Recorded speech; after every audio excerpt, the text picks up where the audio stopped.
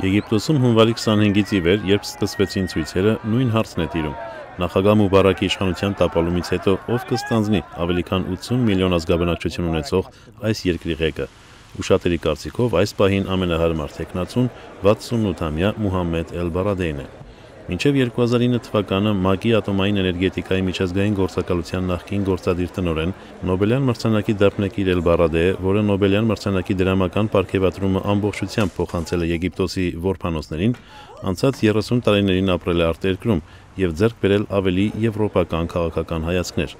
Ու եթե ոմանք Եգիպտոսում ասում են, թե նա արդեն հեռու է Եգիպտոսի իրականությունից, մեծաթիվ վերլուծաբաններ էլ այն կարծիք ունեն, որ նա չի սիրում ԱՄՆ-ն, ԱՄՆ-ի քաղաքականությունը եւ չի սիրում Իսրայելին։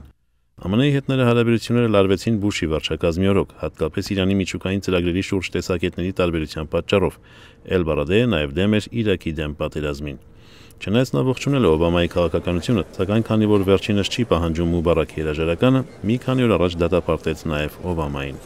Էլ-Բարադեի դիրքերը ավելի են ամրապնդվում որպես ապագա ղեկավար այն հենքի վրա, որ Եգիպտոսի ընդդիմադիր ամենախոշոր խմբավորումը մահմեդական եղբայրությունը աջակցում է նրան։ Չնայած այն հանգամանքին, որ անցյալ տարի անցկացված խորհրդարանական ընտրությունների ժամանակ եղբայրությունը չէր պաշտպանել նրան։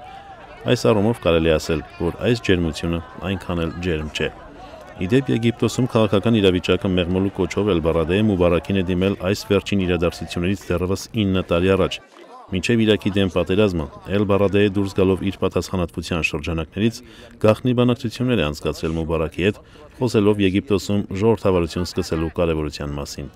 Հետագա բանակցությունները նաև 2006 թվականի հանդիպումը, երբ Մուբարակը Էլ-Բարադեին ապարգևատրեց երկրի ամենաբարձր քաղաքացիական նեղոսի շքանշանով, ավարտվեցին անարդյունք ու նա կորցրեց հավատը Մուբարակի նկատմամբ, լսելու եւ ուրիշների կարծիքը հաշվի առնելու նրա կարողությունների նկատմամբ։ Այսպիսով չի կարելի ասել, թե Էլ-Բարադեյը արդեն երկար տարիներ է հեռու Եգիպտոսի իրականությունից։ Նա միշտ է ապրել Եգիպտոսի հոգսերով, ասում են շատերը, հայտնում այն կարծիքը, որ Մուբարակի պաշտոնանկությունից հետո նա ամենալավ տեխնացուն է, սակայն ավելացնում, որ նա մի տեսակ անցումային գործիչ է, որը հայտնվել է հեղափոխության սկզբին ու լավ կիրականացներ նախագահի պարտականությունները անցումային շրջանում։ Արամ Վանեցյան, Ամերիկայի ձայն, Վաշինգտոնից։